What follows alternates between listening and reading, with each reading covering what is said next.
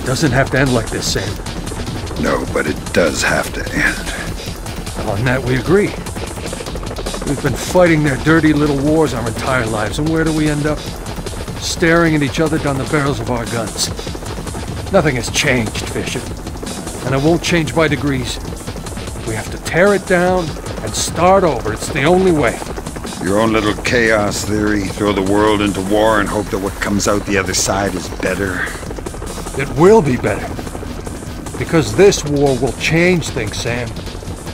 Every other war has been about keeping things the same, but the status quo doesn't work anymore. America's sick, Sam.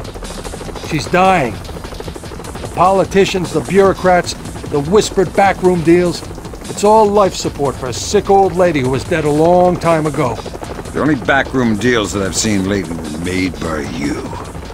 You're a murderer and a war criminal. Those are the only names the state has for the revolutionary, Sam. You only become a hero after the war is over. You know the truth. The world is built from the bottom up, not the other way around. Honor, courage, fidelity.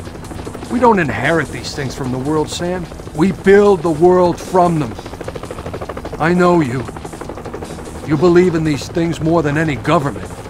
And I know that because of it, you wouldn't shoot an old friend.